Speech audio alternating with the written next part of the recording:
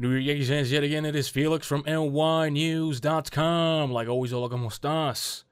Yankees fans, let's use some common sense right here.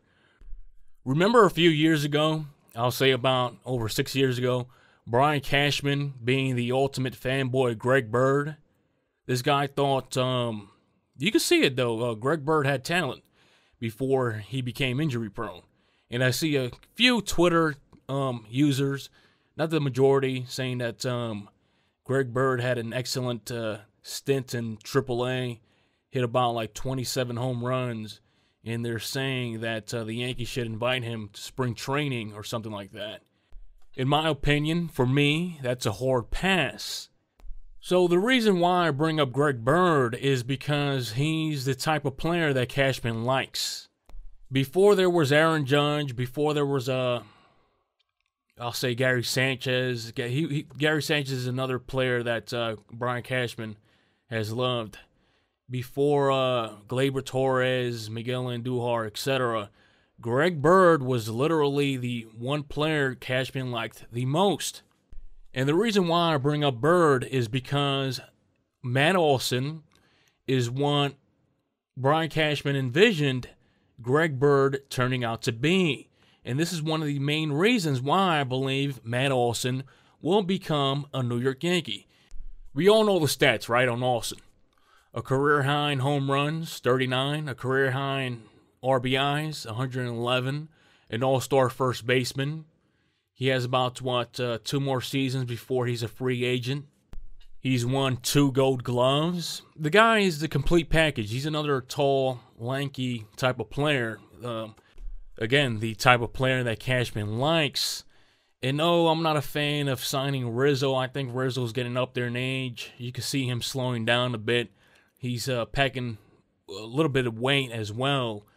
And I, I think it's not a chance that the Yankees sign Freeman either. That one is more of a pipe dream. But let's talk realistically. The Yankees have a great chance in acquiring and trading for Matt Olson. All you really have to do is include Gleyber Torres in the package.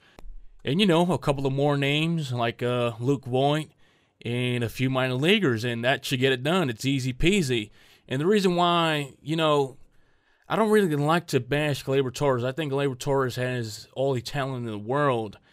But um, with DJ LeMahieu being locked up for seasons to come, I think it's just stupid to keep rotating DJ LeMahieu, first base, uh, second base, third base.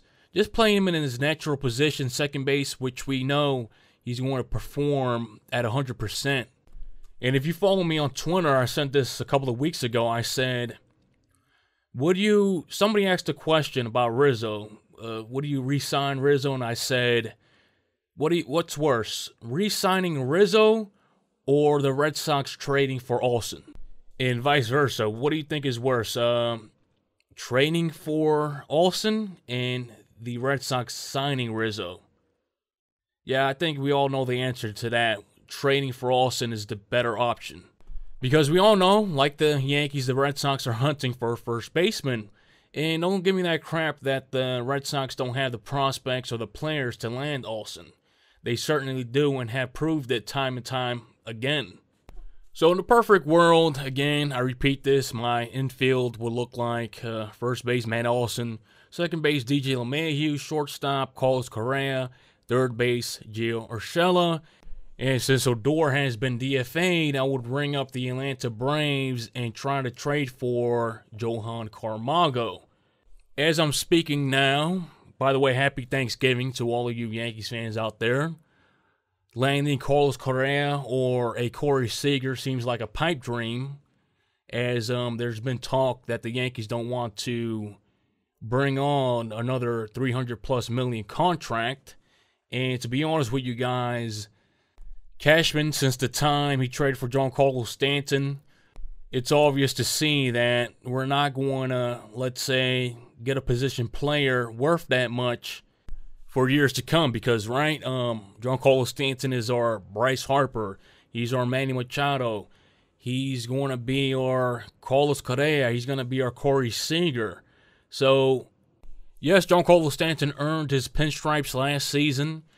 I think he's great. I think he's a great player. But if you're going to pay somebody that much, hmm, maybe you shouldn't be paying that much for a DH.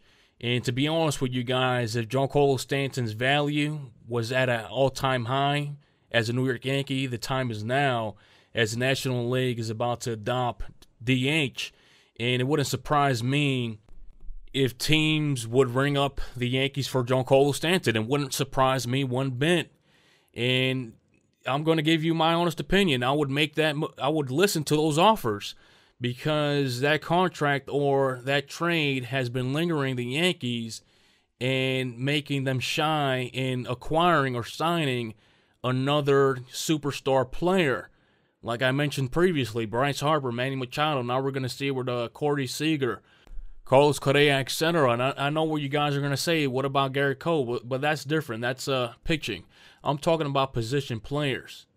So what my gut feeling tells me what the Yankees are really going to do, they're going to sign a player like uh, Simmons or Galvis to play a shortstop uh, as a short gap.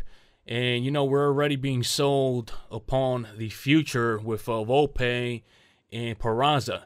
Hey, nothing against those guys. Those guys seem like they're great talents, but we've seen that before.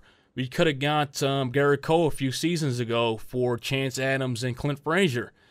Fast forward now, both of those players have been DFA'd. So, you know, I don't want to be sold on these baby bombers because it's a broken record. I mean, if the Yankees were the Yankees and functioning like the Yankees, uh, Carlos Correa or Corey Seager would have been signed a long ass time ago, or we would be hearing chatter uh, about the Yankees uh, almost signing these players. But um, realistically, we're living in different times. These are not the boss's Yankees, so your infield might look like Matt Olson, DJ LeMahieu, Simmons, and Gio Urshela. And hey, if you ask me, there's a 99.9% chance the Yankees trade for Matt Olson. I could just uh, feel it. So that's my opinion on the whole matter. You guys leave your opinions in the comment section below. Like always, this has been Felix from NYYNEWS.com. Share, like, and subscribe, and I will check you out next time.